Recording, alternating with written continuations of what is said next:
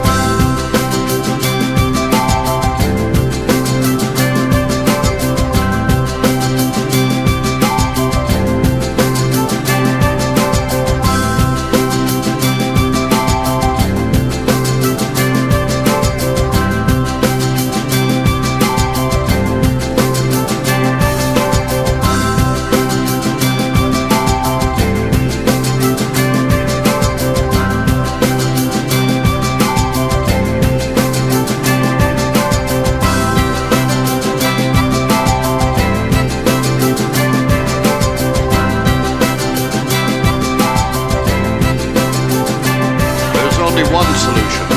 Neither the Oms nor the Draags want to destroy themselves. We must somehow make